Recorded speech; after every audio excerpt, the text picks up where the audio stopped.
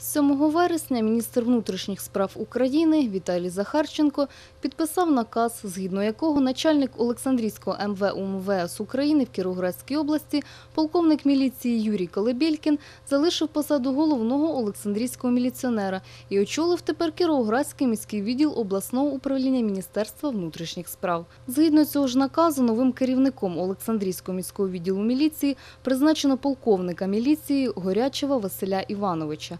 Василь Горячев народився 28 квітня 1968 року. До свого призначення на посаду головного Олександрійського міліціонера він очолював Калінінський районний відділ Донецького міського управління міліції в Донецькій області.